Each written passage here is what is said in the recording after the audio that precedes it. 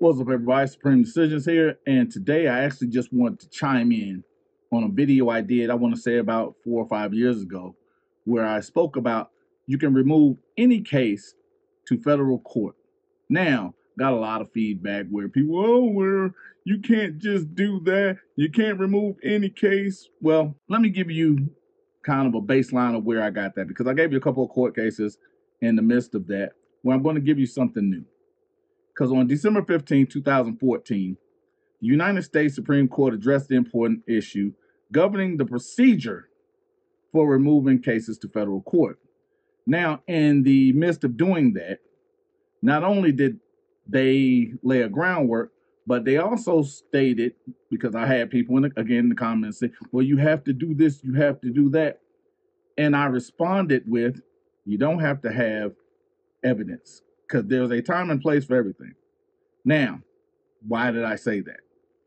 Because originally, when I give you information, it's to let you know that that or there is a procedure or process for that because that process or that thing is available to you.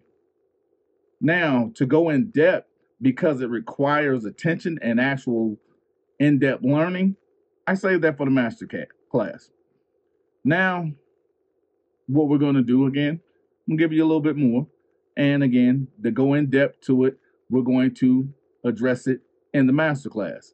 It is going to be crazy in the next couple months. So just know we're getting ready to grow faster than we ever have before. The so, case today is Dart Cherokee Basin Operating Company versus Owens. The court agreed with the majority of federal courts that had addressed the issue, and that was no such evidence is required.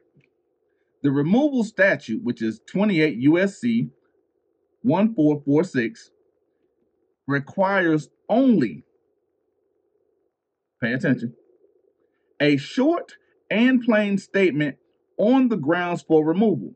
Now, the most common or common is a federal question.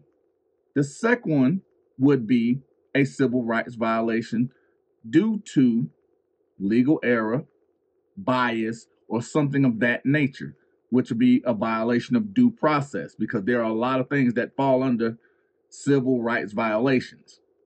Now, Rule 8A of the Federal Rules of Civil Procedure. Don't worry, because I know a lot of you, it threw you because we're talking about criminal cases. But then we also have to understand words have power. Just because you choose to change the meaning of a word does not actually change the meaning of that word. A removal notice need consist only of a pleading and not evidence. Now, at some point, you're going to have to bring forth evidence, but again, that's later in the process because that's part of the actual programming and the process in which it is set up for. Because again, the removing party may ultimately be called upon to prove contested facts with evidence.